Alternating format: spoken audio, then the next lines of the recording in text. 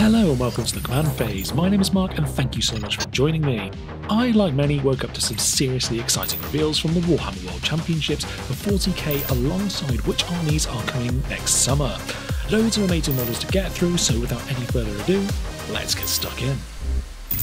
First up, we have to talk about the new Dark Angel sculpts ahead of their upcoming Codex release. And first up is the brand spanking new Master of Repentance, Asmodai, who had a serious glow up. He keeps the smoky effect from the original, which is a nice touch, although thankfully for me, you don't need to have this. He has a smokeless backpack if you prefer, and either a hooded or halo head option too. I really like the fact there is a fallen helmet on his base. Really nice added touch there. I've really been a fan of what Games Workshop are doing with updating models for the Dark Angels range, and the Deathwing Knights are no exception to this. These were also shown to us from what I can only imagine was in response to the leaks we had online, similar to when we had the Potato Cam Angron appear in the last edition. But even without a big video to show them off, Games Workshop have done a great job of bringing some iconic models from that faction up to the new Terminator level we saw for the Marines. You'll get plenty of options in the kit from giving more swords or maces, alongside hooded or helmeted options depending on the aesthetic you're going for. Plus the teleport homer and the most important model in the kit, the Watcher in the Dark. The only criticism I have for this kit compared to the old one is the maces. These look far less medieval knights and more just like power batons. Do let me know in the comment section below your thoughts on this. Another one of the Finecast models from the Necron range gets a glow up in the form of Orikan the Diviner. This cantankerous Cryptek receives the new Necron update to his older, tired model and looks fantastic.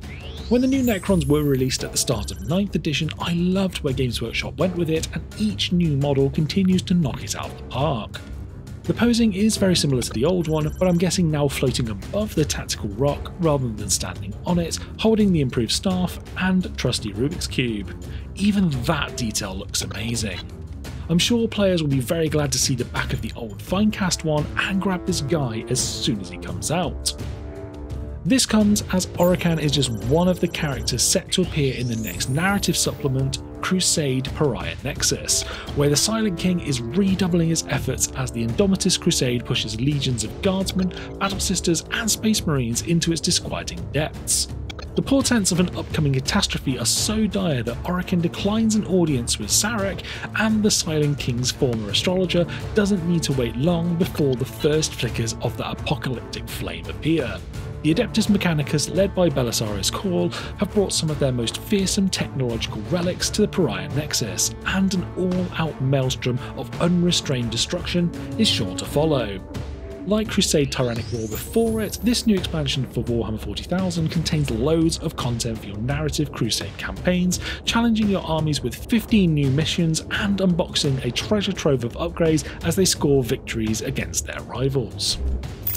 For me, the most exciting reveal from this weekend was the new Night Lords kill team.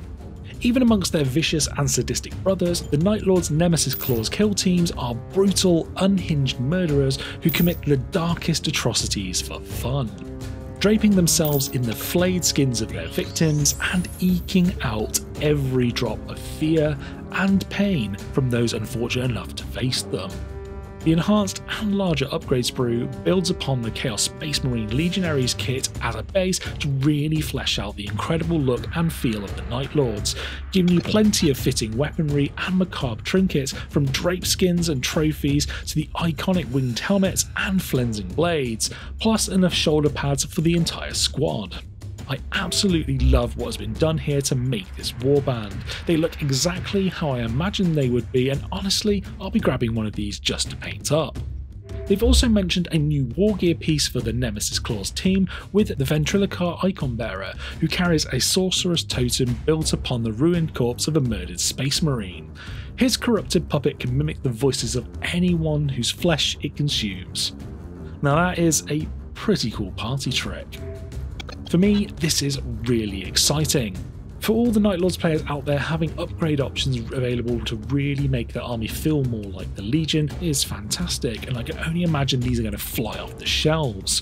The other really exciting part is that hopefully we'll see this happening for other legions, like the Word Bearers and Iron Warriors as well, similar to that of the Loyalist Marine chapters to push the looks of your forces should you wish to. I'll be keeping my fingers crossed that that is the case, as more options here would be incredible for Chaos players. Last of all, you received an update to the Codex roadmap for 40k, adding in the Genestealer Cult and Adeptus Sororitas as the two summer Codex releases, alongside one which has been redacted. Could this be the heavily rumoured Emperor's Children release, or a Games Workshop just teasing us here to keep us on our toes, and it will be one of the existing forces? I'd love to hear your thoughts in the comment section about that below. The good thing for Genestealer and Sisters players is that the Codex isn't too far away and will give us some more army building options. As a Sisters player, hopefully an aspect of the Bloody Rose does make a return. So there we have the 40k reveals from the World Championships, and I must admit this one excited me far more than the last 40th anniversary reveal show. One model I do have to mention which is off topic, and that is the Tomb Kings of Khemri Overlord on Necrolith Bone Dragon. My word does this look incredible.